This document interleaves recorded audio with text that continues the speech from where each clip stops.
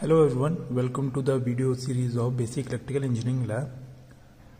In this lab we have already completed our 7 experiments and our next experiment which is experiment number 8 is power measurement of a 3 phase balance circuit using 2 wattmeter method. So for efficient conduct of this experiment we need to understand the working and the connection diagram of a very important instrument which will be used in this experiment which is your wattmeter. You are already familiar with two other measuring devices which are very common which are your ammeter and your voltmeter because we have been using them in our last seven experiments regularly. So this is the diagrammatic representation of your wattmeter. It comprises of two coils which is your current coil and your pressure coil.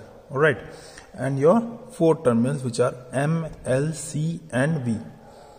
M here stands for your mains, C stands for your common, L is for load and V stands for now see how these terminals actually look on the wattmeter.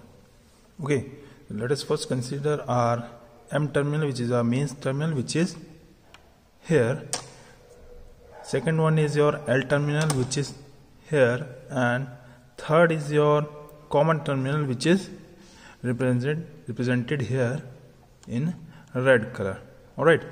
But as far as V terminal is considered we have three options here on the top of your wattmeter which are 150 300 and 600 volts. Meaning that the manufacturer has provided us with three options here for connection of V terminals and we can choose any one of these according to the requirement of our experiment. So you can check it out here. These are our voltage options available depending upon the demand of our experiment. If we are working in a range of 0 to 150 volts we will be choosing a first terminal and for higher voltage ratings we will be using 300 or 600 subsequently. So what this wattmeter actually does it it utilizes the readings of your voltage and current to calculate the total power. All right. So i've told already told you about the voltage options we have here in this wattmeter. One more thing to note here is that it can operate or we can say we have two options for current ratings also depending upon the requirement of our circuit or requirement of our load which is it can operate for a range of 5 amperes and it can also operate for a range of 10 amperes. Now the question arises how to select the current range because selection of voltage range was quite easier. Whichever voltage range we require we'll just connect the terminal V, we'll consider the terminal V as that voltage terminal. Current range can be decided with the help of these four terminals which are your B1, B2 and E1 and if you flip this wattmeter you will see the back side of this wattmeter and you'll get to know as to how to join these terminals which are your B1 and B2 or you can say E1 and E2 to get the desired current rating. So in order to order to work in 5 ampere rating we simply have to join the B1 and B2 terminals. Meaning that these two terminals have to be joined. And as far as the 10 ampere range is considered what we are going to do is you need to join B1 with E2 and E1 with B2 alright? So which has already been done here. You can watch here closely B1 has been connected with E2 and E1 has been connected with B2 as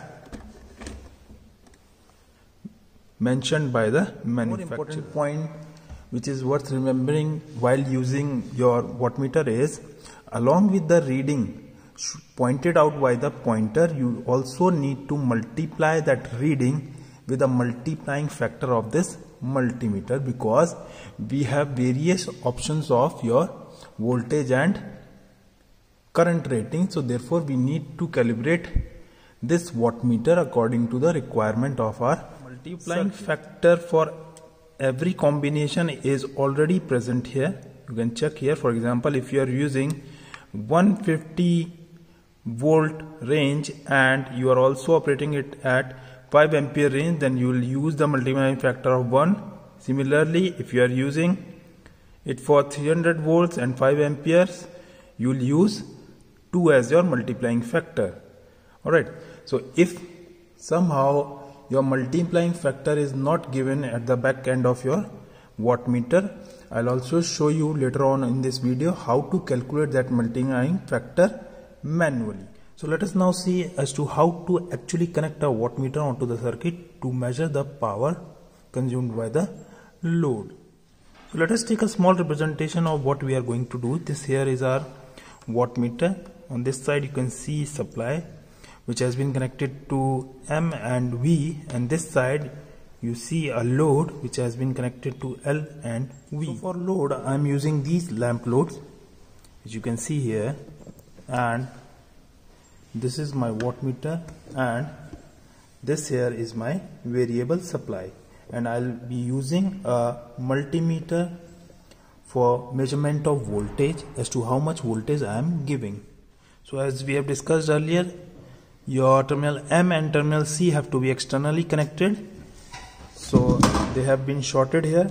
This is M and this is your C which has been shorted with the help of a wire. Let's now see as to how we have connected our wattmeter to measure the power. Okay.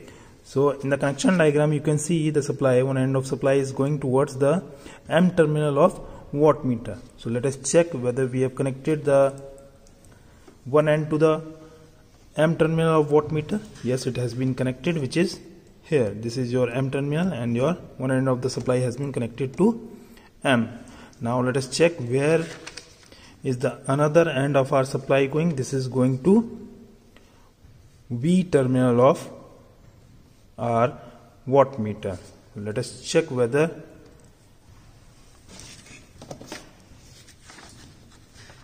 so this will be your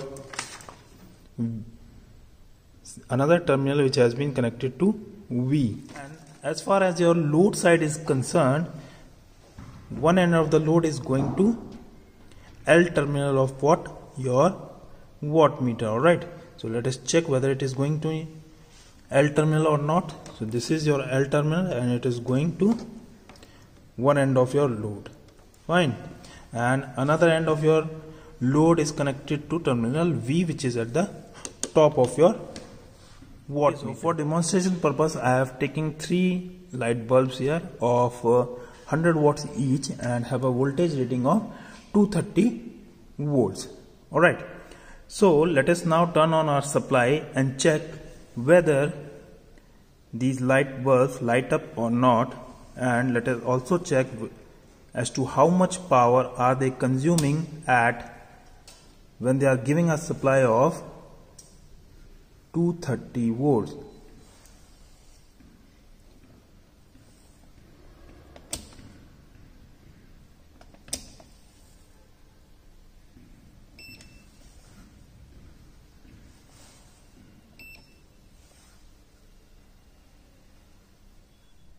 So as you can see here in the voltmeter that I have given two approximately 230 volts of supply to these three bulbs meaning that they are getting 230 volts of voltage across them.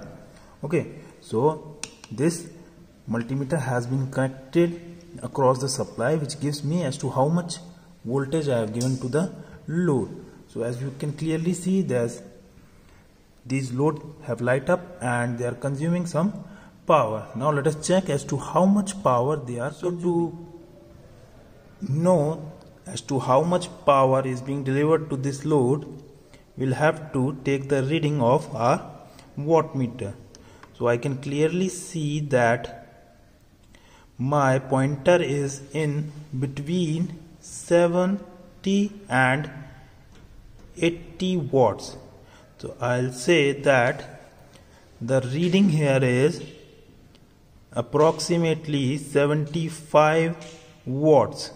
So now the question arises the bulbs are rated as 300 watt but the reading shown here is only 75 watts. So to calculate the accurate reading of the watt meter or you can say as to how much power has been delivered to the load we'll have to multiply the reading indicated by our pointer with a constant k. Fine. So what is the need of multiplying this constant k with the reading of multimeter? Or you can say the reading of your instrument which is your watt meter here. Because our watt meter has the option of various voltage ranges and various current ranges. So we need to cal calibrate our watt meter according to our own requirements. So we have used approximately you can say 300 volts option and we are utilizing a current set of 10 amperes. So for that we need to calculate the watt meter constant. So watt meter constant can be easily calculated with the help of this formula.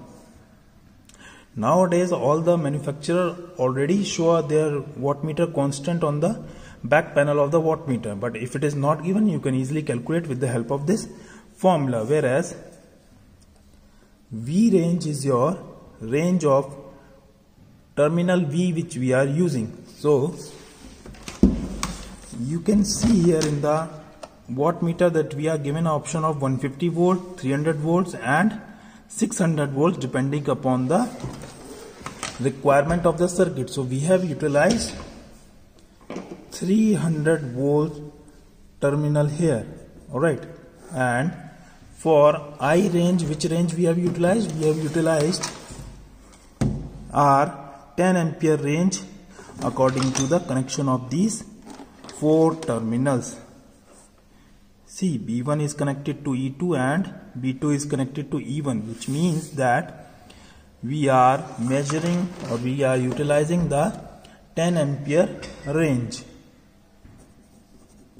into what into the power factor in watt meter so uh, we have already discussed that the power factor here is unity. All right and lastly we'll divide it with the full scale reading of the watt meter. So for the full scale reading of the watt meter, we'll again see the watt meter. The full scale reading of watt meter here is 750 watts. Alright. And this is this 1.0 indicates that this is a unity power factor meter. So I'll divide it with the full scale reading which is 750 watts and it would give me approximately 4 meaning that your watt meter constant here is 4 so the actual watt meter